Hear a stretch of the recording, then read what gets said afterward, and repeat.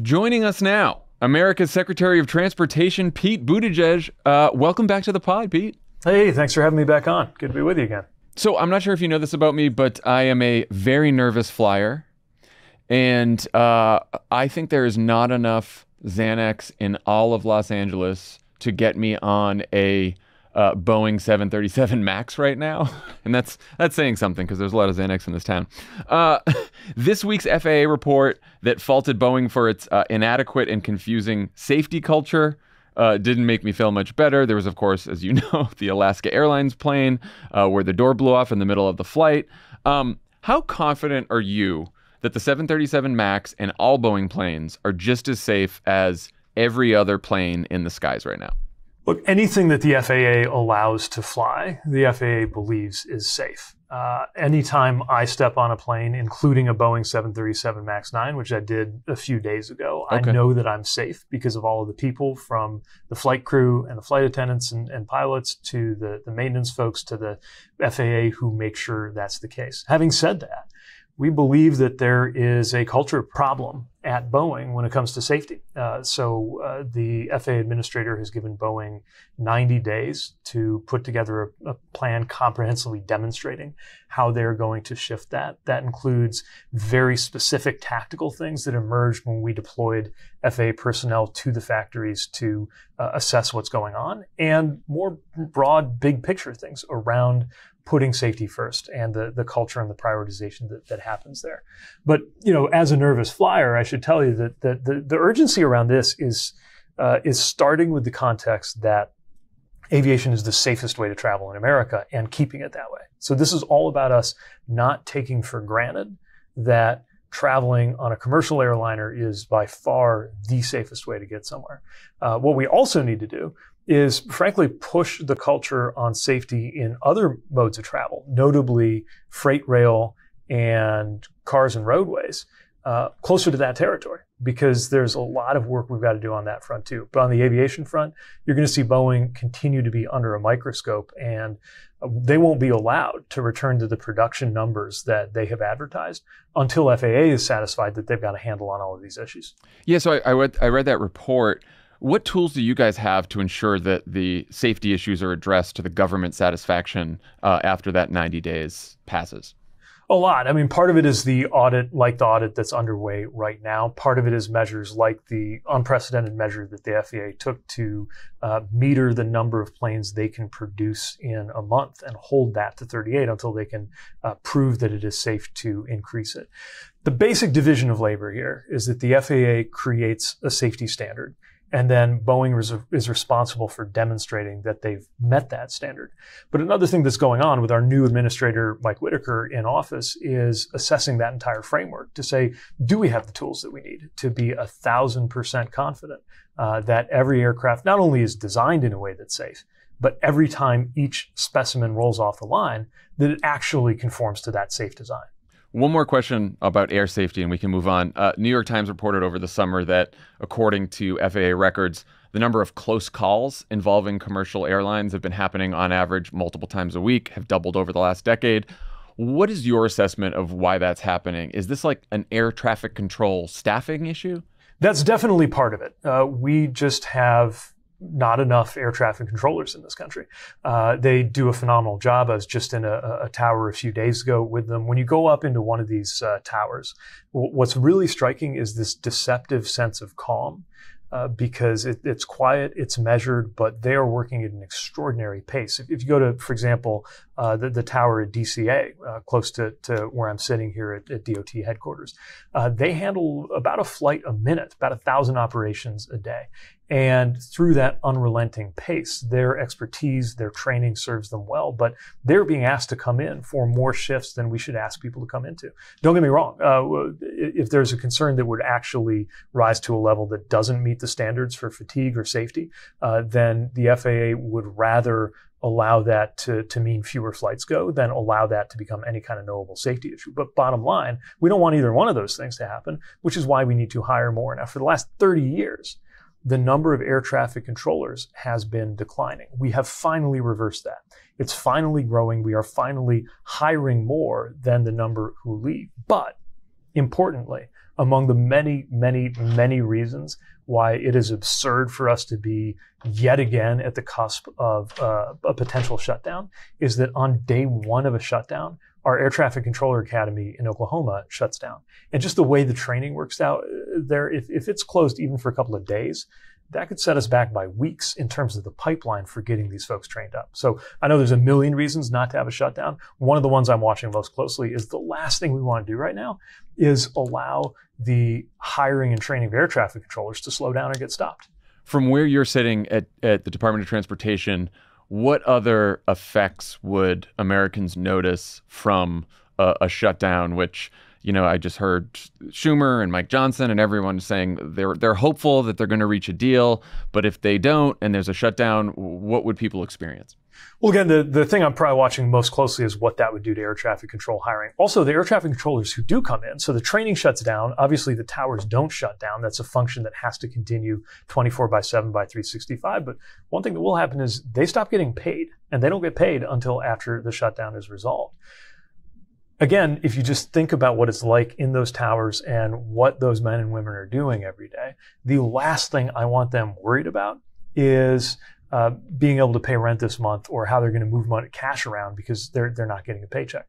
Uh, so that's an important example all kinds of other functions, some of which affect some of the, the airport uh, physical improvements that we're doing.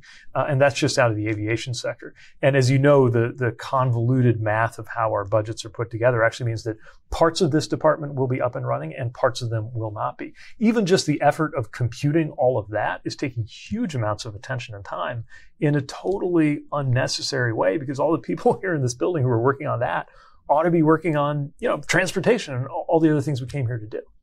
Uh, Republicans in Congress are also uh, threatening to block Senator Tammy Duckworth's bill to protect access to IVF in the wake of the Alabama Supreme Court's decision, even though most of them say they support IVF. They also promote adoption as an alternative to abortion, even though they've tried to make it so that adoption agencies can refuse to work with gay couples. Some have even come after you and Chasten personally for adopting your beautiful twins.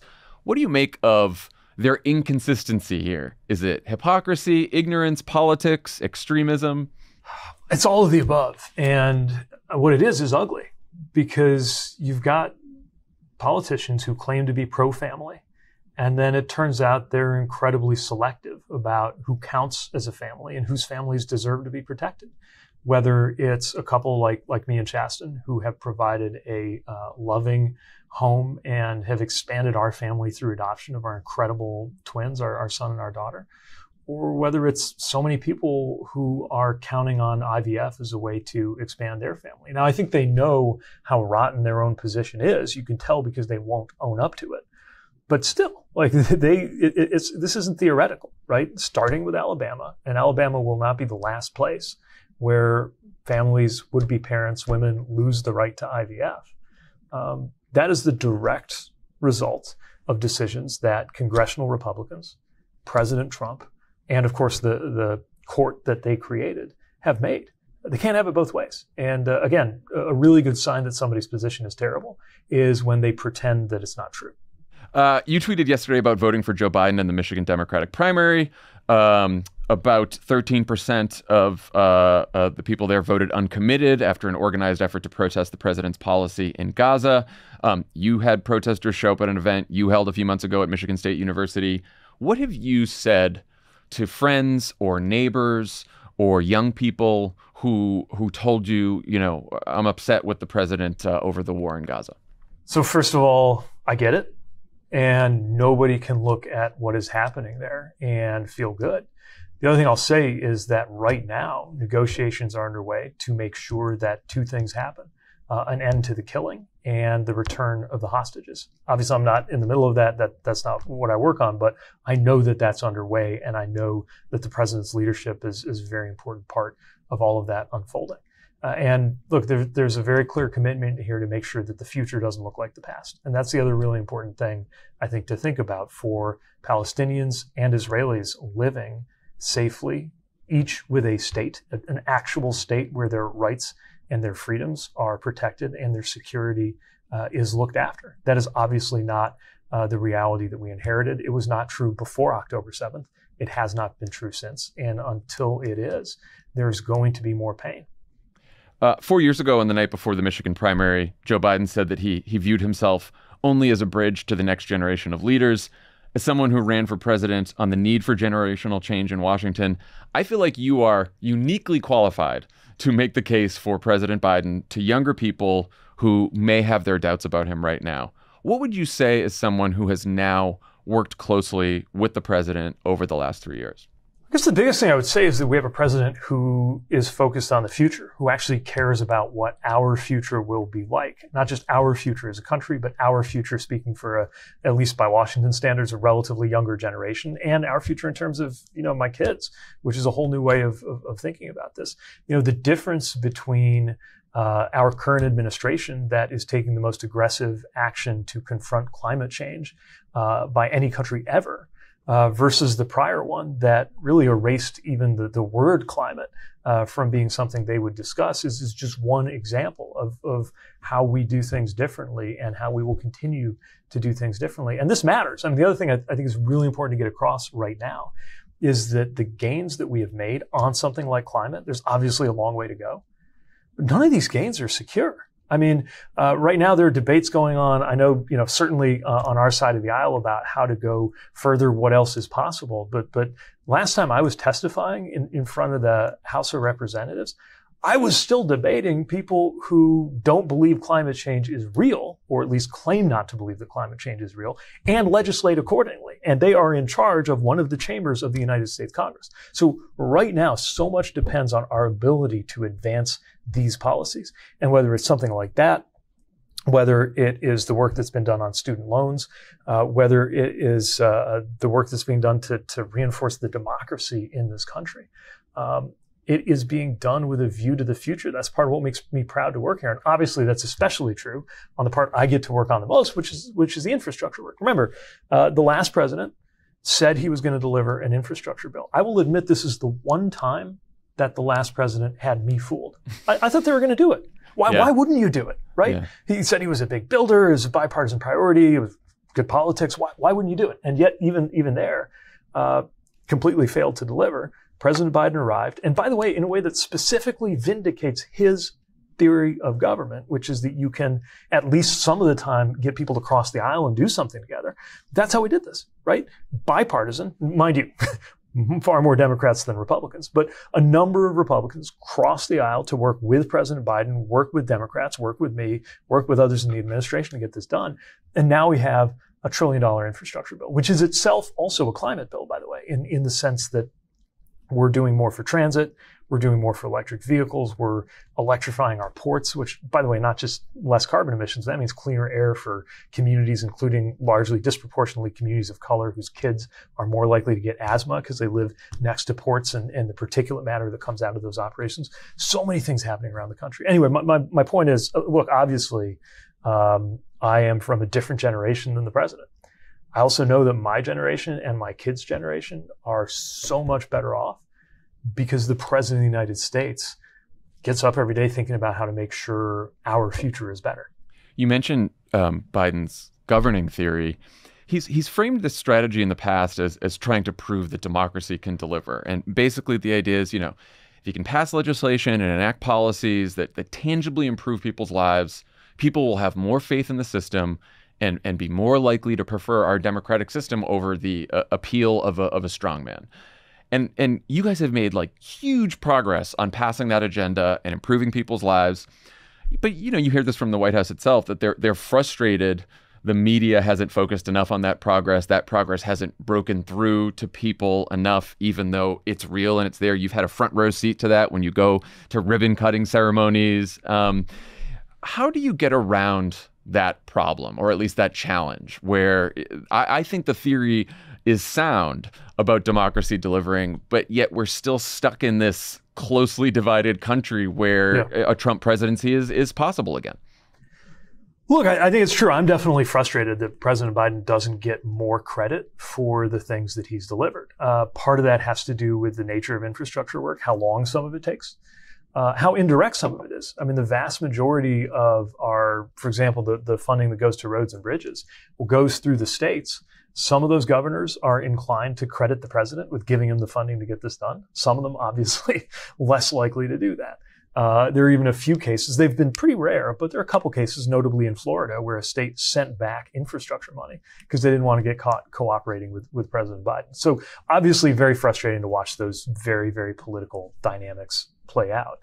Um, at the same time, we know that, that when we get out there and draw attention to this work, uh, people want to see more of that. You can tell because so many of the congressional Republicans who voted against these projects getting funded still want to be there to celebrate the projects. So you can tell that it's good politics and good policy if they want to be there. And you know what? If they're there to say, uh, you know, I was wrong to oppose this and I'm glad it's coming and I'm thankful to President Biden, then welcome aboard. Um, otherwise, we're, we're, I think we feel an obligation to, to, to point this out. Um, but bottom line, I think it shows that, that, that it does matter to be seen getting good projects out there and getting good projects done. And, you know, that's going to continue to be our focus. And if that requires, you know, going there, um, you know, going out to projects is one of the best parts of my job anyway. Uh, and I think you'll see the president out there a lot too, um, both, you know, elevating the importance of the projects and helping to make sure that they get delivered. I've lost count of how many people have said to me, you know, uh, Secretary Pete's one of the best messengers in the party. Why can't we get him out there more? I know you've got a day job that keeps you plenty busy. Do you plan to campaign for Joe Biden in your in your personal capacity during this race? I expect that I will. I can't really get into that while I'm sitting in this chair because because you know I'm here as secretary and uh, uh, we actually care about the Hatch Act in this administration. I, I know that's not standard practice maybe uh, in uh, for our predecessors, but uh, yeah, of course I'm, I'm going to do everything I can out there um, uh, within you know the, the, limits of the fact that I have a pretty demanding job here at the DOT, which I'm I'm, I'm proud to be doing. and look, we, we also believe that that good policy is good politics, and if we keep delivering in a real way, look, I'm not naive. You don't instantly get credit for for doing good things especially things that take a while. Um, but I also think that uh, one of the best things that I can do uh, on any account It's just to have my head down and, and, and get this work done. Uh, you and I got into politics around the same time. Did you ever imagine 20 years ago that someday you'd have the honor of serving as a cabinet secretary who had to issue a warning to some morons who'd gone viral for wearing their Apple Vision Pros while driving a Cybertruck? the future is now, right? I mean, and, and I got to tell you, I mean, I don't know what was going on in that video. I don't even know if it was real. I, I just know that anytime I see something, something like that, I, I just feel the need to remind everybody there is no car that you can go buy today that doesn't require you to have your eyes on the road and your hands on the wheel. There's some really fancy stuff. There's some cool tech. It's great. It is designed to supplement the driver, not replace the driver. For God's sake, watch the road. Don't check your email. Don't do whatever that guy was doing in that video just keep your eye on the road. It's that simple. It doesn't seem like it's a it's a hard warning. Um, all right, last question. So Emily and I have a, a toddler who's three. Uh, we now have a two month old as well. Congratulations! Um, thank you. I no longer know what it's like to not feel tired. Um, you guys have twins. I cannot imagine handling two at once the entire time. uh, while one of you is transportation secretary. How has that been? Uh, so it's a challenge. I mean, yeah, we became parents to twins uh, on about 24 hours notice. Um, and and too. also, I don't know if every adoptive parent has had this uh, experience, but the advice we got from our agency was actually not to set everything up and have the room ready to go and everything like that. Uh, because of, of, of, just the emotions around the false starts, and we definitely had had false starts as, as many adoptive parents do. Uh, so every everything changed literally overnight for us. Uh, it's as you know, it's the best and hardest thing in the world. Uh, and uh, as I'm sure you also know, um, you really learn just how much you count on your spouse. Uh, and, uh, and, you know, Chasten's traveling a lot too. Uh, you know, he, uh, uh, he, has been in demand as a speaker. His, his, his, book did very well, and and uh, uh, so uh, in fact today I happen to be on on solo dad duty while he's traveling. Pretty soon I'll you know I'll be looking at a bridge or a tunnel somewhere, and the reverse will be true. Um, and you know you figure it out, but uh, yeah, you really the two. Look, we don't know it any other way, right? We, we only know what it's like to have twins, but I, I get the sense that it is more than 2x uh, as hard as demanding as one because you got the one interfering with the other one while you're trying to trying to do your thing, especially around bath time. But again, Ugh, it's, bath it's time the is tough. The solo ever. this and the solo parenting when you have to do that, that's that's really tough because then you're outnumbered. Yeah, because you only have like 10 seconds, right, to get the diaper on the one kid while they're on their way out of the tub before you got the other kid that you got to take care of. It, it is it is 3D chess out there. You um you had a recent post that that connected with me in the most visceral way. Uh, you asked just how deeply can the Frozen soundtrack get ingrained in your brain's subroutines before it's permanently displacing essential knowledge? And is there anything you can do about this? I want to know if you figured that out yet because Charlie was screaming and singing "Let It Go" in his crib at 5:30 a.m. yesterday while I was trying to prepare for this interview. T- it is. I mean, at least the, the music that, that they're getting toddlers addicted to now is is better music. I think That's true. objectively better music than what was going around when, when, when we were little for the most part. So we got that going for us. I mean, that's the real thing. I'm, I'm driving along. I have to I have to play Let It Go for the 19th time, and I'm like, you know, this actually there's a lot of depth to this song, right? And, uh, but uh, uh, yeah, of course, it's also harder because they they know what song they want to hear. But they don't know how to explain it to me. So, Mm. like, if they just say play Snowman, I know which song to go for. But if they say play Castle, as they demanded that I do this morning in the van, I don't know which song on the Frozen soundtrack Castle means. I, I, there's a castle involved, and I think most of the, I, I don't know. As far as what knowledge it displaces, I used to know something about chemistry. Not a lot, but like in high school, like I learned chemistry. That's gone. And I'm pretty sure that that's coming out of the same pocket of my brain that, that has now been permanently invaded by the by the Frozen soundtrack, which now also you will find, even when your kids are not around, will be playing in your mind at the most unexpected and inappropriate times when you're trying to concentrate on something else. constantly constantly and the other day we were driving to school and and charlie was like, i was like oh we're gonna play another hot wheels song now the cars soundtrack again and he was like dad can we have peace and quiet and just chat and i was like okay great but then careful what you wish for because then there was about 40 questions on the way to school and, and Hey, you'll- I'll take it. yeah you'll get into that and then you get to explain all kinds of things um, That's true. Oh, I'm already out of my depth on heavy equipment. Like, what's that? I think it's an excavator. What's that? I was like, I don't know, another excavator? What's that? I don't know, man. but you know what you're the secretary of transportation you can tell your kids you're in charge of all the excavators that's I did, and they are not impressed. They're not. That's good to know. That's good to know. Keeps you humble. Uh, Secretary Pete Buttigieg, thank you for stopping by Pod Save America and uh, come back soon. Appreciate you. Thanks. Same here.